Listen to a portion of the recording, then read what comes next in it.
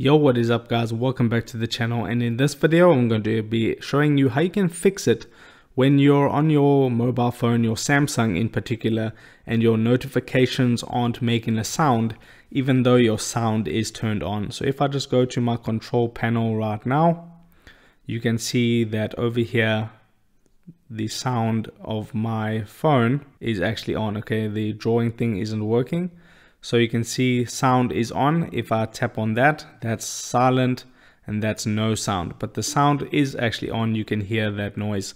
And if it's not making a sound when you get an SMS or a message or something like that, typically this is just something that has gone wrong. And I experience this quite, a, quite often actually on my phone where the notifications aren't making a sound. The quick fix for this is to just restart your phone. So hold down the power button and then you just want to tap on restart.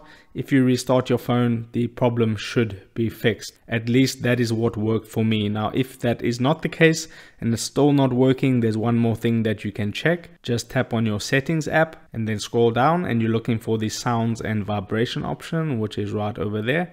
If you tap on sounds and vibration, you want to go and scroll down till you get to the volume section. So here's the volume.